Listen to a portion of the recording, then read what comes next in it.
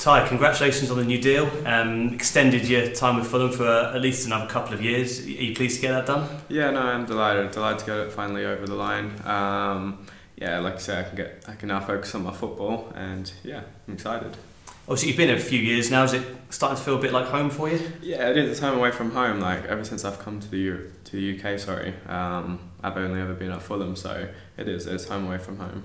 And how do you look back on, on last season? Because obviously for the club it was, it was uh, a really good one. You, you played a bit of football, maybe would like a bit more, but Mhm. on, on the whole, how do you look back at last season? Yeah, it was obviously a very successful season for everyone at the club. Um, yeah, personally, I would have liked to play more, but I got injured. Um, but it was great to be a part of that winning group, um, and I learnt a lot.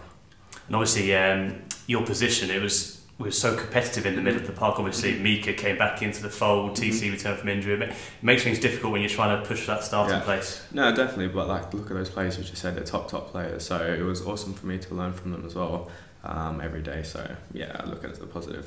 And you, you came away from it with a championship winners medal as well. Must Yeah. pretty special. Yeah, no, exactly. It's my first. I didn't appear that many times, but look, uh, it's a medal in the cabinet, so I'll take it. So what's sort of like the next target for you then, Ty? Um, to play regular first team football, um, if that's here or out on loan, um, I'll speak to the manager when when it's time. But yeah, to play as many minutes as possible and then come back here and fight for my place, or um, and see where it takes me.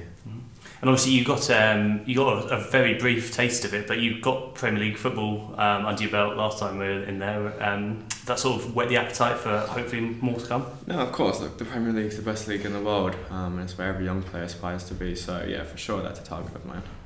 And just talk to us about your summer because um, obviously you didn't get as much time off the other guys who played in the Asia Cup, captain in Australia. Um, it didn't end how you wanted it to, but from what I understand personally, it was a pretty successful tournament for you. Yeah, no, it was an awesome experience. It was my first tournament in Asia. Um, the football's different over there, but uh, I played a lot of football. I stayed fit. Um, yeah, and I really enjoyed my time over there. It was a great experience.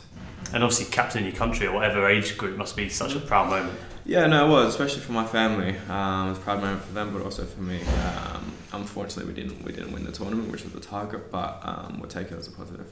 We're speaking to you before you're about to hop on the bus to catch your flight to, to Portugal for the pre-season tour. Um, obviously, last last season, pre-season, you excelled and you're one of our standout performers. That's why Marco gave you the, the start in Berth against Middlesbrough. I suppose that's all you can do, isn't it? Impress as much as you can in, in these sorts of situations. Yeah, no, especially for the young boys, um, it's an awesome opportunity for us to get some game time in front of the manager and impress. And if we do well, then he can throw us into the mix. If not, then um, we've got to keep trying. And how good is it for you guys to come up against the likes of Nice, Benfica, Villarreal? These are really strong teams and should set, set us in good stead for the season. Yeah, no, exactly. They're top top European sides, but we're going to play top European side in the Premier League this season. So it, it's a great little taste for us um, to do well against some good teams. And there's a decent number of Fulham fans going out there, which is says a lot. They're going out there to Yeah. see you boys whenever they can. No, no, exactly. The support last season, especially, was amazing, um, and I'm sure it'll be even better this season.